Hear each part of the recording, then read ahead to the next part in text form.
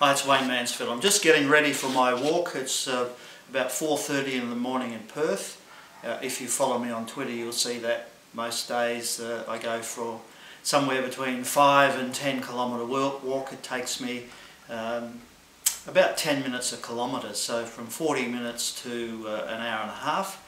And after the first few weeks of doing that, I found that uh, pretty boring old sort of uh, idea. So what I got is uh, on, on my iPad, sorry iPhone, um, a whole lot of podcasts to listen to.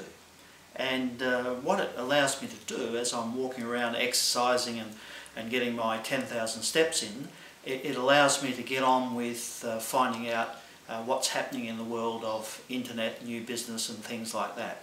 And I thought I'd take this opportunity of recommending to you some of the podcasts I listen to as I walk the streets of Perth early in the morning.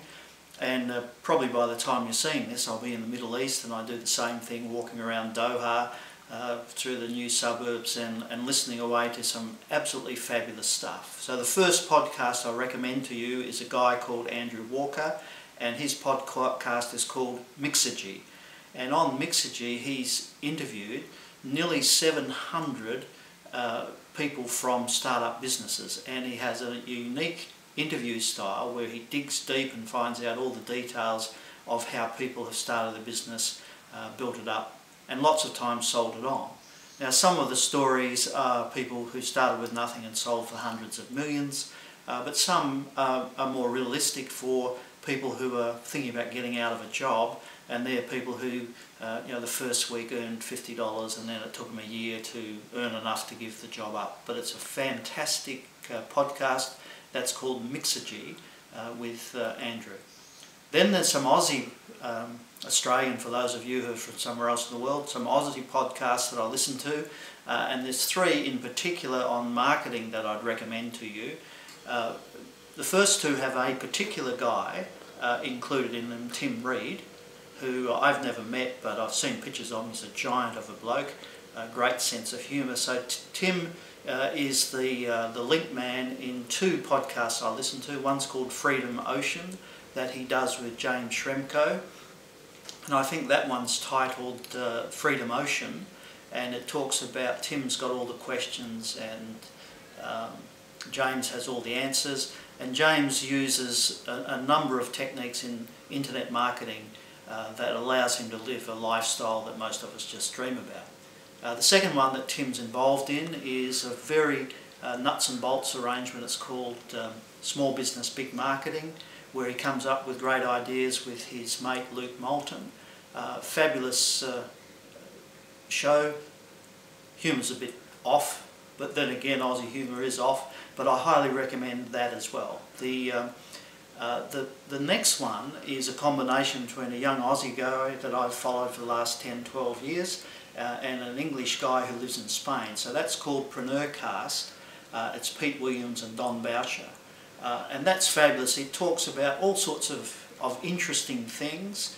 Um, they've got one, uh, the seven levers that help you make your business go quicker.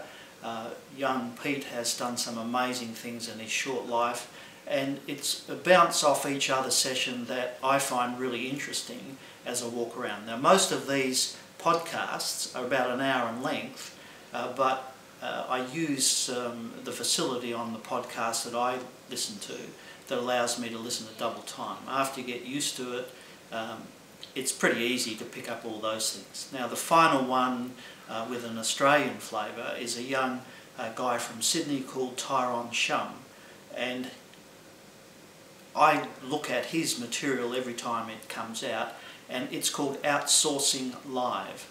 And what Tyrone is looking at is showing you how uh, you can outsource, and he recommends people in the Philippines, uh, all the things that you have to do but don't want to do so you can concentrate on the fun things. There's some really fabulous stuff on that.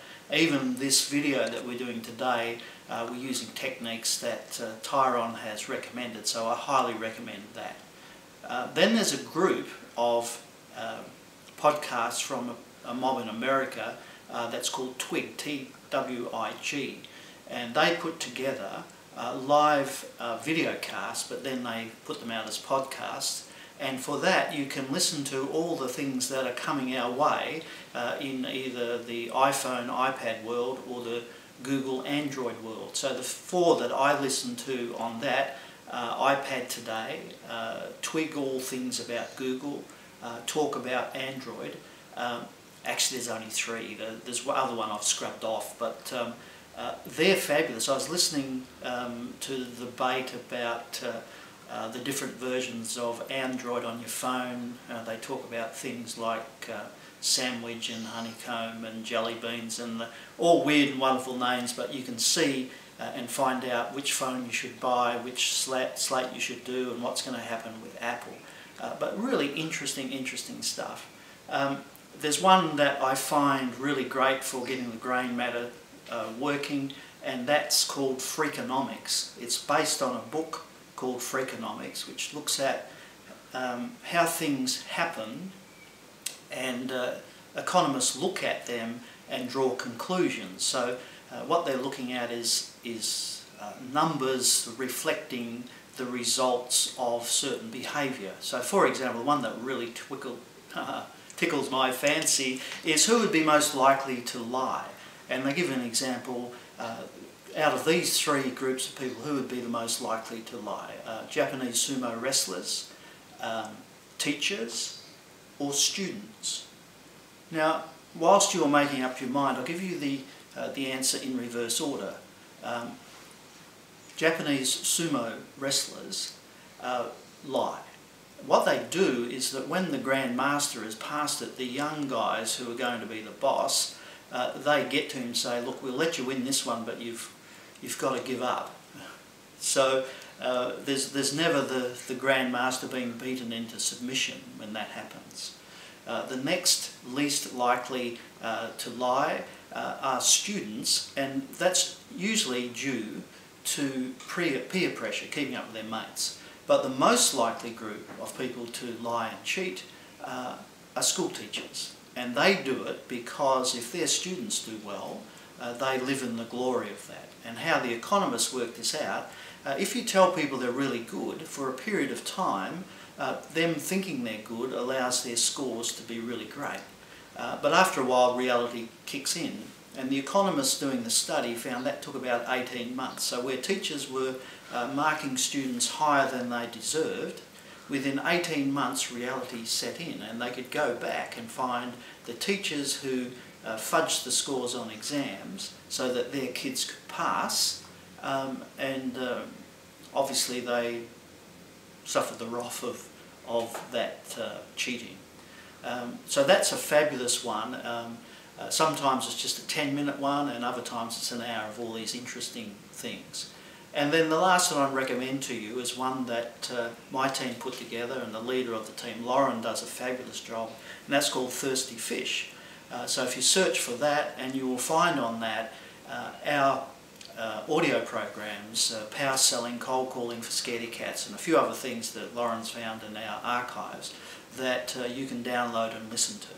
So when you're out and about walking, exercise the brain as well as your body, and learn by podcast. So until I see you again, this is Wayne Mansfield saying, learn away as you walk away.